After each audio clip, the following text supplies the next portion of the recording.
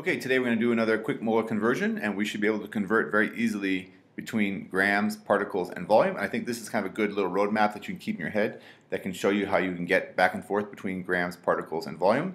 These things are all related to each other through the mole.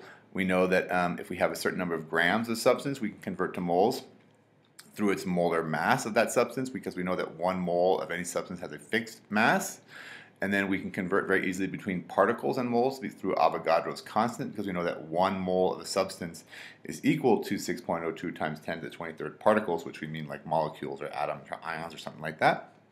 And then we know that the volume of a gas at standard temperature and pressure is related to the mole through its molar volume because one mole of any gas at standard temperature and pressure has a volume of 22.4 liters. All right, so those are the conversion factors that you can use very easily to convert grams, particles, and volume. All right, so let's go on and do a few problems. Okay, in this video we're going to do another quick molar conversion. And let's read our problem, see what we've got here. You can see it says how many molecules are there. So this is how many, this is what we're trying to find, are there in 15 liters of chlorine gas at standard temperature and pressure. So you can see, first of all, we have been given the number of liters.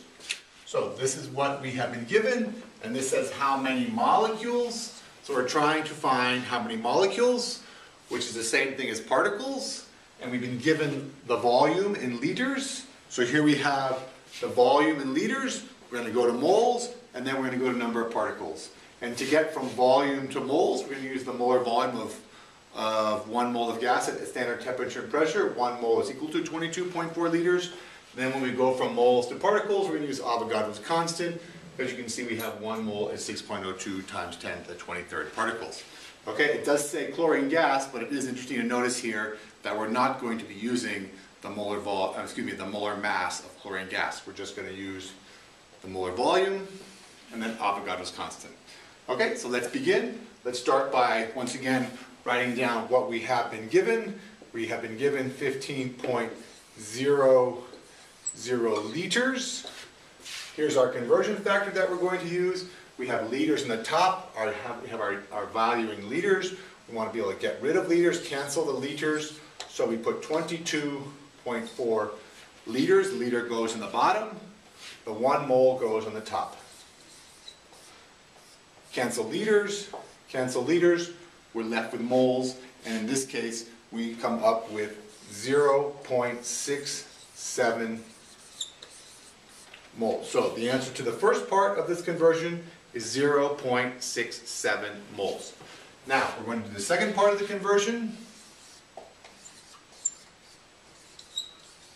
So we just write down once again what we've been given.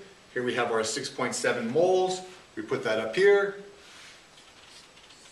Our multiplication sign, our division line for our conversion factor, and now we're going to convert from moles to number of particles using Avogadro's constant. We have the moles here, where our unit is now, our value is now in moles. So the moles goes in the bottom. One mole on the bottom, so you can see once again we can cancel and get out of moles and get into particles or get into molecules. So we're going to write down Avogadro's constant.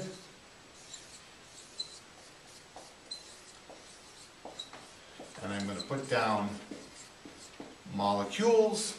So that's what we want to know. How many molecules are there? So it's 0.67 times Avogadro's constant, 6.02 times 10 to the 23rd. And you can see that we come up with 4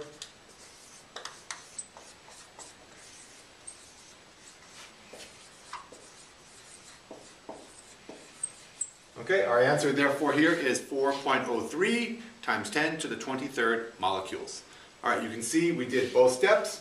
We started with the volume in liters, went to moles using the molar volume of one gas, one, one mole of the gas, then we went from moles to particles using Avogadro's constant, and we end up with 4.03 times 10 to the 23rd molecules.